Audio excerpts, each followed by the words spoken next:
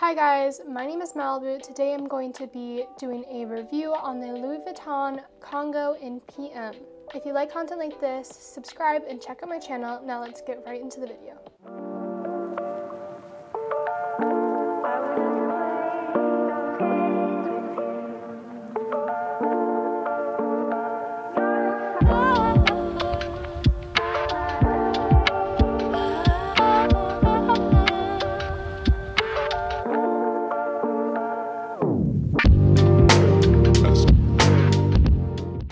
Backstory about the Louis Vuitton Congo in PM is that I originally got the Louis Vuitton Reporter in size PM. Now, I knew of the Congo bag from Louis Vuitton and I couldn't find any on the market that I liked the condition of, so I ordered this Reporter PM and the day that it got to my house, I a Congo got listed on a pre-loved website. Now, I was quite bummed about this because I did do a lot of research because this was going to be like the second Louis Vuitton bag that I got and I didn't know what to do but I figured you know I got the reporter I should stick with the reporter because that is what I had budgeted. A week later I looked at the website and it I saw that it sold for a much lower price than it was listed for and my mom knew that I was kind of wondering what I should do if I should return the reporter and get the Congo or if she had any suggestions and I told her about it and she said I got it.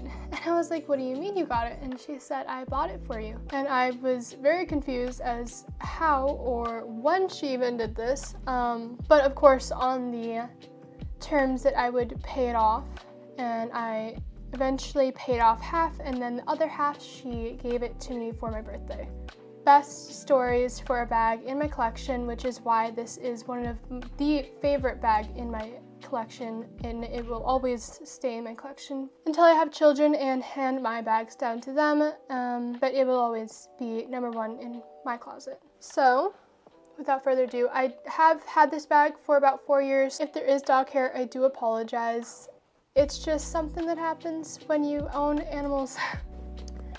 Here is the Louis Vuitton Congo in size PM. Now this is monogram canvas. It is not treated with vachetta leather and it comes with this adorable like netting pocket in the front. This is definitely um, a rare bag that I have never seen out in public. Um, it does come in a size GM, which I have honestly thought about getting, but I will probably wait until I have children because I've always thought about using it for a diaper bag. Might be a little outrageous to use for a diaper bag, but I thought it would be kind of cute. It is so gorgeous. It has patinaed over time. When I originally got it, it was basically brand new.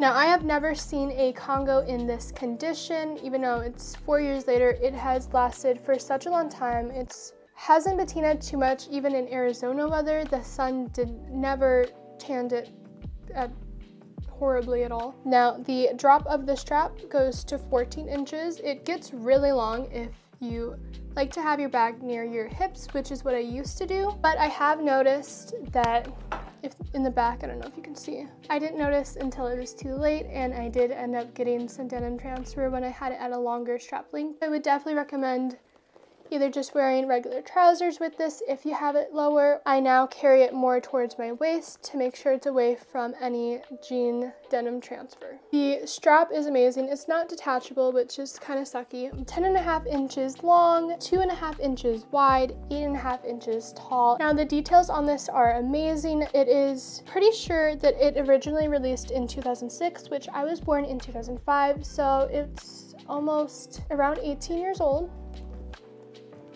It has two back buttons, which you will see why on the inside. The fabric strap is really cool. Don't mind the dog hair. We all have dogs, so.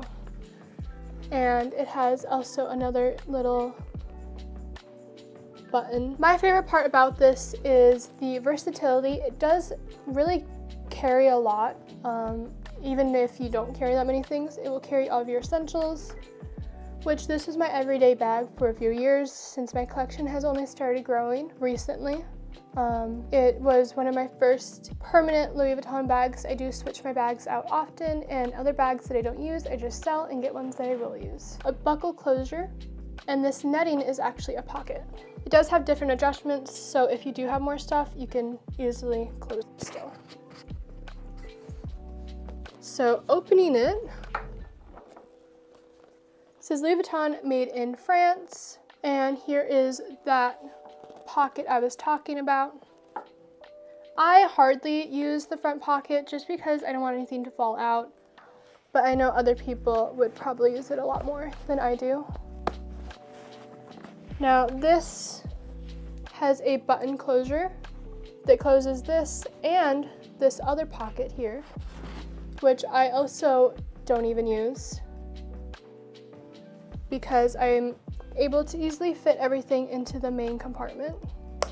Now the inside of the main compartment is a snap-on waterproof liner, which would make this bag very like first time bag user friendly, but you know, there is the untreated vachetta leather on the outside, which if you want a more throw around bag, this might not be the bag for you, but the inside is great. If you have makeup products or pens and you don't want it to leak anywhere, this will literally save the whole entire inside of the bag.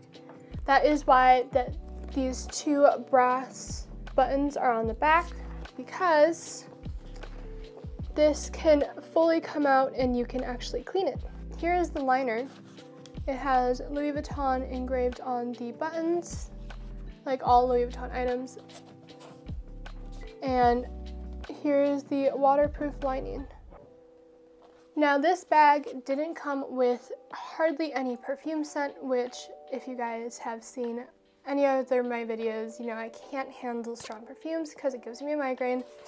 I've relisted many a bag with perfumes or like musty, moldy hotel smells. I don't even know how those get in the bags. They did smell just a tiny hint of perfume, so I took the liner out and washed it and it was basically gone. Here is the inside of the bag without the liner. I have seen some on the pre-loved market without the liner, which I thought kind of sucked and defeated the whole purpose of the design of this bag. If you guys are looking for a bag like this, the Congo, um, Sometimes they pop up on the pre-loved market, but it's very hard to find one in amazing condition inside and out, and I just got extremely lucky. If you guys do hear something in the background, that is my dog. Her name is Mabel, and she is a Greyhound, so just try to ignore that.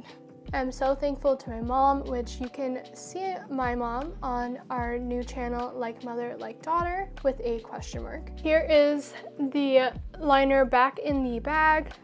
I'm going to show you guys what I can fit in the Congo PM.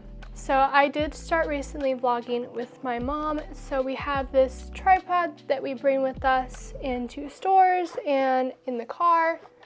And it is able to fit at the bottom of this very easily. We also do have our mic pack, which I am currently wearing the mic. But if I do need it out, I can also fit this in here. So a tripod and a mic pack. I also have my New York City Louis Vuitton pencil pouch that just fits nicely in here. As you can see, things do get stacked on top of each other. If you don't like that, then you can totally rearrange it or just put different things in there. I'm just showing you guys what I bring on a daily basis. Now I also have my wallet which matches perfectly with my pencil pouch. And I'm gonna try to fit this in here. We'll see how it does. That is a tripod, mic pack, pencil pouch, a wallet, and a mini pochette. It all fits in here very nicely. It's not overstuffed or anything. And I'm gonna try to close it. Since it has multiple holes for the buckle closure, I put it on the second one and it fits everything just fine. I could have put it on the third one. It's not too stuffed to need it and it actually looks great.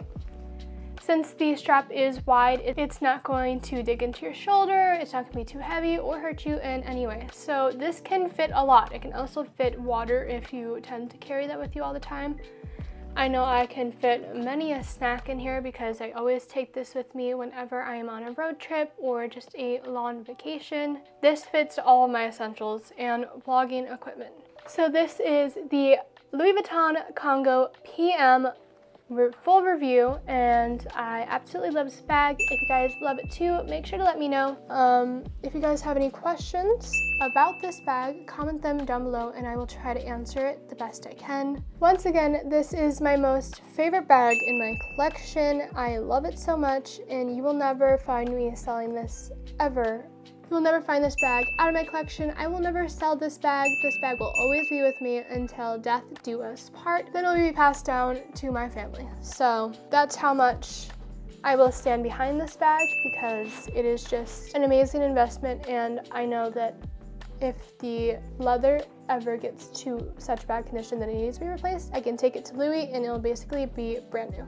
In the description down below, I will try to find a bag like this linked that is available so you guys can go check it out. If you like this video, please give it a thumbs up. If you like content like this, don't be shy and subscribe to my channel. And don't forget to click the bell to be notified of future uploads. Thank you guys so much for watching. Your support means the world to me. As always, if you have any ideas, questions, or suggestions, comment them down below. Bye!